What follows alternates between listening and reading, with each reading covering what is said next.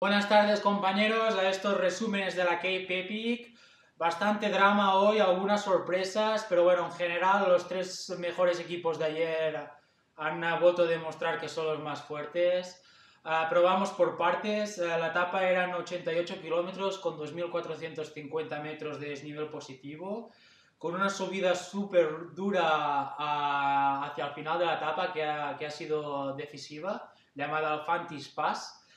Vamos por partes. la etapa se ha salido súper rápida, con muchos nervios. ha, ido una, ha habido una caída, pero bueno, todos los favoritos lo han podido librar.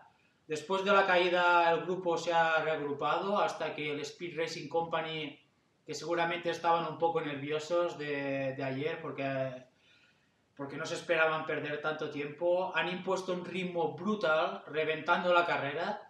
Pero bueno, luego han reventado ellos, les ha salido mal la jugada, pero bueno. Uh, ah, se han ido siete grupos, uh, siete equipos uh, hasta mitad de carrera donde un, en una de las subidas más duras de la etapa, Wout Aleman del Buff Megamo ha impuesto un ritmo brutal, demostrando que es el mejor escalador de, de esta Cape. Con él le ha seguido su compañero de equipo, Hans Becking, y Nino Schurter y Fini. Uh, haciendo un poco la goma venían el Toyota Specialized de Grotz y Pierce, y luego perdiendo un poco más de tiempo ya venían el, el Willy, el Victoria y el Speed Racing Company. Uh, como he dicho, se han ido dos equipos al frente, uh, el Boom Megamo y el World Bicycle Relief de Nino Surter y Fini. Los dos han llegado juntos al final.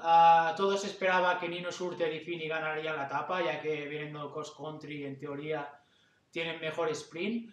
Pero el Buff Megamo ha sabido jugar sus cartas, han planeado una táctica brutal, Wout Aleman se ha puesto al primero, ha entrado, ha entrado muy bien a la última curva, uh, Hans Becking estaba de, detrás así que ha pillado el rebufo, han sprintado los dos muy bien y se han llevado la etapa, muy contento por ellos. Segundos al mismo tiempo han entrado Nino Surter y Fini, que mantienen el liderato, y a terceros eh, han entrado Toyota, uh, Specialized de Matt Beers y Grotz, ya perdiendo 21 segundos. Cuartos ha entrado el Wheeler Victoria uh, y, de Fabián Ravensteiner y Porro, perdiendo 42 uh, segundos. Y quintos han entrado el Speed Racing Company, ya perdiendo bastante tiempo. ¿eh? Han perdido 4 minutos hoy, más 3 minutos que perdieron ayer, ya, ya es bastante tiempo. Sí que es verdad que es un equipo que dará guerra y dará, dará, dará vidilla a la Cape Epic, pero bueno, han perdido mucho tiempo. Uh, españoles, felicitar a Mantecón, que ha entrado top 10 con su compañero polaco. Uh, Morcillo Díaz han entrado 17, perdiendo 11 minutos.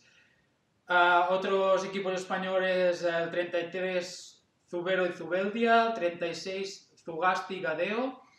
Y la sorpresa de hoy uh, es el climatiza de Roberto Bou y Muñoz, que han entrado 39, perdiendo 33 minutos. ¿eh? Ahora he visto unas historias de, del equipo y se ve que Miguel Muñoz uh, tenía problemas en el estómago, tenía cortes de digestión, no ha podido comer nada. Así que han perdido 33 minutos. Es lo que hay, a recuperarse y seguro que estarán más adelante. Eh, los próximos días. Uh, el nivel uh, tema mujeres, no ha habido sorpresas. La salida ha sido, ha sido, un poco más tranquila, han ido un grupo bastante grande hasta final de hasta, hasta media etapa. Luego se han ido los dos equipos más fuertes, el Ghost y el Cannondale han ido juntos toda la etapa y se han disputado la etapa al sprint, donde el Costa de Ana Tepstra y Nicola Kohler han ganado. Así que ganaron ayer, ganaron hoy. Felicidades. El Cannondale de Mona y Cándides ha quedado segundas. Y el Toyota, el Toyota Specialized de Sofía Gómez y Samara han quedado terceras ya a 5 minutos. Des, destacar que Natalia Fischer del Calabandida ha entrado sexta hoy con su compañera de equipo del bus, muy buen resultado. Y bueno, el Cannondale uh, estaba perdiendo mucho tiempo ya que Merichel también tenía problemas uh, estomacales, y ya perdía una hora al, al Waterpoint 3. Así que bueno, espero que, que, se recuperen tanto Mirichel como Miguel y que puedan dar mucha guerra mañana. Mañana, etapa de mañana de 93 kilómetros, 2200 de desnivel positivo. Una etapa que se prevé súper emocionante, ya que la primera subida dura y casi la única de toda la etapa es al kilómetro 9, súper temprano. Así que mañana a las 8 de la mañana conectar con YouTube porque se espera un inicio de etapa súper emocionante. Y bueno, muchas gracias por ver el vídeo, darle al like, la verdad es que me está gustando mucho hablar a la cámara y así lo seguiré haciendo. Muchas gracias.